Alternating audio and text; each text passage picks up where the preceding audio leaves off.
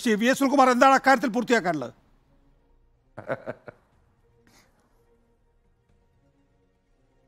അല്ല നികേഷേ അങ്ങ് അങ്ങ് ഇവിടെ ചോദിച്ചൊരു ചോദ്യം. അതായത് നമ്പൂരി സാറ് പറഞ്ഞൊരു കാര്യമുണ്ടല്ലോ. ഈ സുപ്രീം കോടതി ഞങ്ങൾക്കെതിരായി വിധി വന്ന് എന്ത് ചെയ്യുന്നുള്ളതാണ് ഈ കേരളം ഒലിച്ചു പോകുന്നു വിചാരിച്ചോ? തലയ്ക്ക് മീതെ വെള്ളം വന്ന് അതുക്ക് മീതെ വഞ്ചി എന്നുള്ള ഞങ്ങളുടെ പോളിസി അതിൽ സംശയമൊന്നും വേണ്ട കാര്യത്തിൽ. അപ്പൊ അതുകൊണ്ട് ഞാൻ.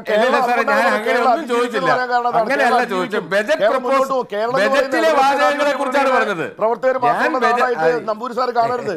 ഇവിടുത്തെ മൂന്ന് മൂന്നര കോടിയോളം വരുന്ന ജനങ്ങൾ കാണണം. എന്റെ അല്ല ഞാൻ പറയുന്നത് ഞാൻ പറയാത്ത കാര്യങ്ങൾ?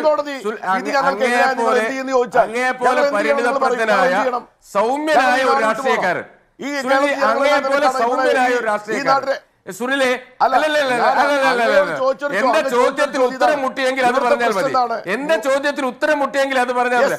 അങ്ങേ പോലെ വളരെ സൗമ്യനായ ഒരു രാഷ്ട്രീയക്കാരൻ വളരെ സൗമ്യനായ ഒരു രാഷ്ട്രീയ നേതാവ് ഇങ്ങനെ ഇല്ലാത്തത് പറയരുത്. ഞാൻ കേരളം ഒലിച്ചു പോകുമെന്ന് ഒന്നുമല്ല പറഞ്ഞത്. ഇന്നത്തെ ബജറ്റ് പ്രസംഗത്തിൽ കേന്ദ്രത്തിനെതിരായി പറഞ്ഞ കാര്യങ്ങൾ സുപ്രീം കോടതിയുടെ ഉത്തരവ് കേരളത്തിന്റെ നിലപാട് തള്ളിക്കൊണ്ടാണ് എങ്കിൽ ഈ ബജറ്റിൽ മാറ്റി പറയേണ്ടി വരില്ലേ? കാരണം ബജറ്റിൽ കട കടമെടുപ്പ് പരിധി കേന്ദ്രം കുറച്ച് ഞെരുക്കുന്നു. അമ്പത്തേഴായിരം കോടി നൽകാനുണ്ട്.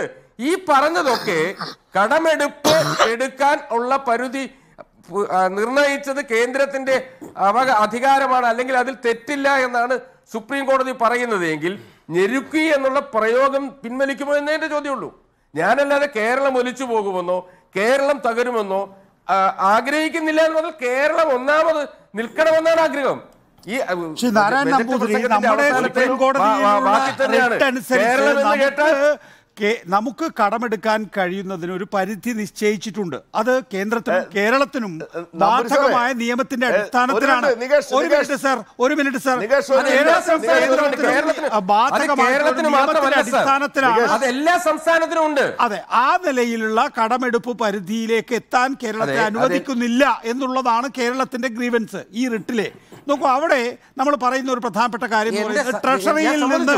ട്രഷറിയിൽ നിന്ന് കേരളം കടമെടുത്തിട്ടുള്ളത് ഇത്ര തുകയാണ്. പക്ഷേ കേന്ദ്രം പറയുന്നത് അത് പന്ത്രണ്ടായിരം കോടി രൂപയാണ്. അപ്പോൾ ആ ഒരു ഏഴായിരം കോടി രൂപയുടെ വ്യത്യാസം ഇത് സാങ്കേതികമായി ചൂണ്ടിക്കാണിക്കുകയാണ്. അപ്പോൾ കൃത്യമായ ഉദ്ദേശത്തോടുകൂടി രാഷ്ട്രീയ വിരോധത്തിന്റെ അടിസ്ഥാനത്തിൽ കേരളത്തെ ഞെരുക്കുകയാണ് എന്നുള്ളതാണ്. അക്കാര്യത്തിലൊരു തീരുമാനം ഉണ്ടായാലും ഇല്ലെങ്കിലും നോക്കൂ പ്രതിപക്ഷ സംസ്ഥാനങ്ങളെ സാമ്പത്തികമായി ഞെരുക്കുക അല്ലല്ല, എന്നുള്ളത് ഒരു കേരളത്തിന്റെ മാത്രം മുദ്രാവാക്യമല്ല നോക്കൂ എട്ടാം തീയതി കേരളം സമരം പ്രഖ്യാപിച്ചപ്പോ ഏഴാം തീയതി പോയി കർണാടക അവിടെ സമരം നടത്തുന്നു ബംഗാൾ ഇപ്പോൾ ഇതിനകം തന്നെ സമരത്തിലേക്ക് പോകുന്നു മറ്റ് സംസ്ഥാനങ്ങളും വരാൻ പോകുന്നു. അപ്പൊ ഇത് കേരളത്തിന്റെ മാത്രം പ്രശ്നമല്ല. എല്ലാ ബി ജെ പി ഇതര സംസ്ഥാന സർക്കാരുകളുടെയും പ്രശ്നമായിരിക്കുകയാണ് അവിടെ അതുകൊണ്ട് തന്നെ സുപ്രീം കോടതി എന്തെങ്കിലും പറയുന്നു എന്നുള്ളത് കൊണ്ട് ആ വിഷയം അവസാനിക്കുന്നില്ല ശ്രീ നാരായണ നമ്പൂതിരി. ഇല്ല സാർ ഇത് രാജ്യത്ത് നിലവിലുള്ള ഒരു നിയമമാണ് അത് കേരളത്തിന് വേണ്ടി മാത്രം പാസാക്കിയ നിയമമല്ലെന്ന്. ഈ ഈ സാമ്പത്തിക ഭദ്രതാ നിയമം അല്ലെങ്കിൽ അത് ഉറപ്പുവരുത്തുന്ന കടവ് കടത്തിന്റെ പരിധി നിർണയിക്കുന്നത് അത് കേന്ദ്- കേന്ദ്രത്തിൽ കാലത്ത് കൊണ്ട് എല്ലാവർക്കും ഒരുപോലെയാണ് സാർ. ഒന്ന് നിങ്ങൾ നിങ്ങൾ മാറ്റി പറയൂ. കേരളത്തിൽ മാത്രമായി പോരല്ലോ. ശ്രീ മത്തായി നൂറാൾ. ഞാൻ സമീറിലേക്ക് വരാം. ശ്രീ മത്തായി ഒരു ഇവിടെ- ഒരു സദ്യ അഞ്ച്-. കേന്ദ്രത്തിന്റെത് അഞ്ച് ദശാംശം എട്ടാകുന്നു. കേരളത്തിന്റെത് അത് മൂന്ന് ശതമാനമായി. കിഫ്ബി ഇല്ലാതെ രണ്ട് ദശാംശം അഞ്ചായി കുറയണം എന്ന് പറയുന്നതിന്റെ സാങ്കേതികത്വം ന്യായവാദം അല്ലല്ല ഞാൻ അതിന്റെ ഡീറ്റെയിൽസ് പറയാൻ തയ്യാറാണ്.